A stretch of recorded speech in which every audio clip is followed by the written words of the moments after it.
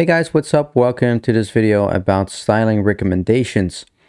So you can consider this video to be, you know, somewhat of a bonus video because it, it doesn't really has a lot to do with React uh, specifically, but it's just more general tips um, for your styling. Because honestly, as a front-end developer, you know, you spend a lot of time um, making sure things look good. You spend a lot of time working with CSS.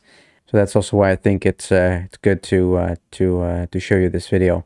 So um, first point: prevent weird styling decisions. Keep it simple, and of course, you know, weird and and uh, simple are, are subjective terms. But the thing is that sometimes I've seen people doing this. They kind of like create their own you could say utility library, right? So they have like all uh, a lot of global stylings, a lot of class names that will be globally applied in your application. And, you know, to some degree, this is perfectly fine, but you can really overdo it. And I think it's always good to, you know, remember uh, and, and keep in your mind, like, you know, when someone else joins your team or your project, is he or she still able to understand what's going on, right? So, you know, the more simple you keep it, the more like, well, let's say plain CSS you do things, the easier it will be for people to understand your code.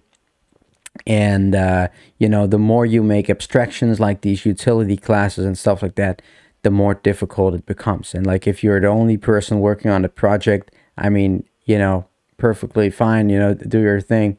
But if you know other people have to work with it as well, keep that in mind. Um, I also recommend you to try a CSS reset um, or uh, use something like normalize.css. So yeah, I do think it, it is opinionated, but it's very effective for having consistent styling across different browsers. And if you've watched the uh, web development fundamentals uh, video series, um, then uh, there's a, there's a video where I actually use a CSS reset, the one from Meyer or Mayer, um, and uh, you know I, I, think it's a good practice to at least have something like a CSS reset or or something like normalized CSS. Again, there's a lot of different CSS resets out there you can use. Probably um, Mayer is the the most um, most famous one, uh, but it is uh, is definitely keep things consistent and much more um, explicit in terms of what you want to do with the styling. Um, the other thing are CSS variables for colors, right? So if you um, often you you have like a design system, and we'll get into that in a minute, and uh, you know you have a sp specific um, you know amount of colors you can choose from and it's a good thing to use CSS variables for that. So you uh, are consistent with your colors right? And it's also very nice if you want to for example uh, create like a dark mode uh, theme in your application. You know then it's just a matter of switching like the the the theme color so the the css variable colors and um, then your you know your app will just look perfectly fine just by using CSS. So that's that's something you uh, you got to keep in mind. Other thing is to keep your CSS selector short. Uh, so for example, try to, you know, keep it like this, right? So do not try to chain or nest selectors in each other because that is, at a certain moment, it becomes pretty difficult to understand where the styles are actually being defined. And using something like this also have has the downside that when you change one of these class names or once you add like a div some like in between or or remove uh, uh, an element your styling will be gone right? It uh, it, it, will fail to um, to uh, to apply the correct style. So try to keep it short much easier to understand and much more maintainable. Um, you see that a lot of people are concerned about like their their CSS performance. And if you uh, if you created a React app, you can run the npm run build command, and then it will show you the um, the uh, the chunk of CSS that uh, that comes with your app, and um, you know, like I wouldn't really worry too much about your performance in CSS unless it becomes a problem, right? Um, but I do want to note that your, you know, the the the the efficiency or the way you can use CSS and, and also React, you know, as in terms of components efficiently is very tightly coupled to the design system. So, you know, most of the designers, they work with tools like Figma or, or you know, there's also tool, uh, tools made by Adobe to, um, to create all these designs.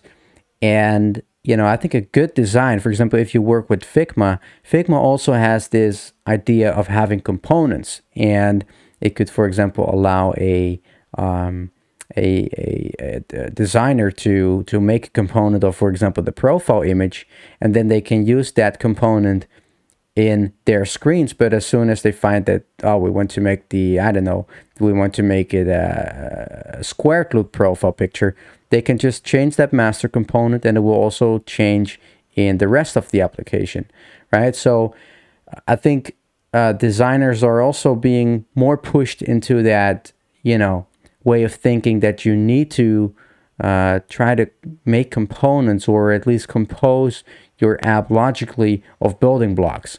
But honestly, like if the design sucks, then your app will probably suck as well. You know, it, it will just be really hard for you as a developer to um, to you know create the components, create like the modular kind of system uh, including CSS. So that's why if you find yourself having a lot of trouble with inconsistent design, you know, complain about it because it will affect the uh, your application as well.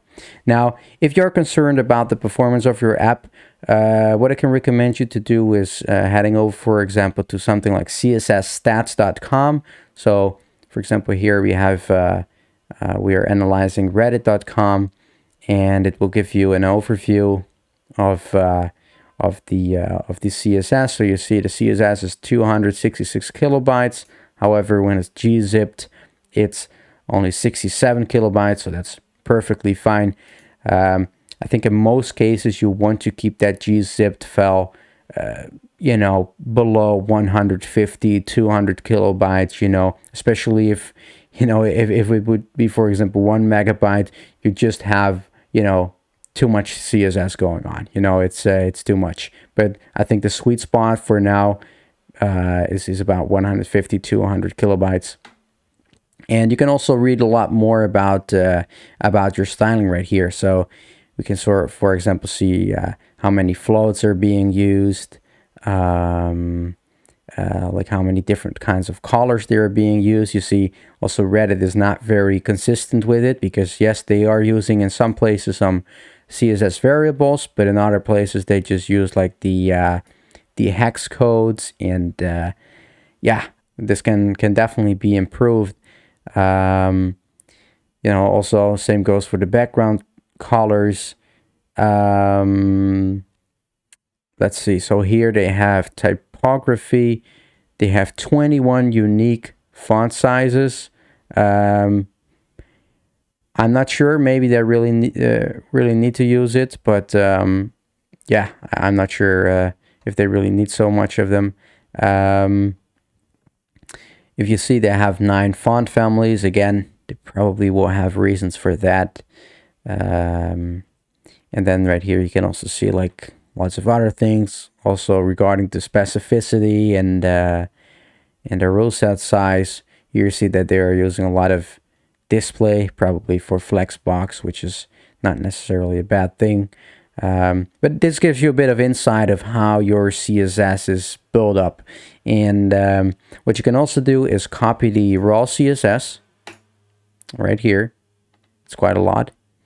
And then if we go to csslint.net and we paste the uh, code right here, then we can lint the uh, the CSS we just copied, and we see we got 827 errors and over 2,000 warnings. Now, you got to keep in mind that not every error or warning is uh, very useful, but for example, if you go down, you know, there's definitely a lot of things that um, that you can pick up from this. Like it says that they have um, four H1s, five H2s, and four H3s, and so on in the style sheet. I mean, that's something that that you know should not be the case. Uh, it seems like they they're using a lot of floats. Um, they have empty rules, so you know there's like a, the, the the classes are defined, but they are not uh, having any properties. Um, yeah, I mean they use important right here, which is you know sometimes you might really need it, but uh, it's definitely something you you generally speaking want to avoid. Uh, now you can see they have a lot of uh, a lot of things right here you can uh, you can check out. So that's something I can recommend if you uh, if you want to uh, maybe clean up your CSS if you like. Um, the thing is that if the maintainability of your CSS or, or the size becomes a problem, you know, discuss it with your team. Um, you know, there's a lot of ways to uh, to to face those problems and, and to uh, to uh, to fix it. But you know, I wouldn't worry too much about it uh, up front, especially if your app. I mean, we just talked about Reddit. You know, that's a that's a pretty large application uh, with a lot of different kind of pages, and and and I think most of the applications uh, uh, you will be building are not that big as Reddit, but you never know, of course. So uh, yeah, that was it pretty much for this video. Um, thanks for watching, and I'll see you in the next one.